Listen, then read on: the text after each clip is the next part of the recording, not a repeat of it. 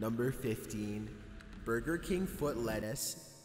The last thing you'd want in your Burger King burger is someone's foot fungus, but as it turns out, that might be what you get.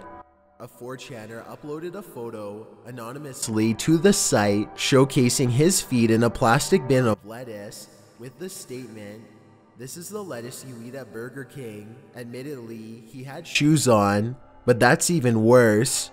The post went live at 11:38 p.m. on July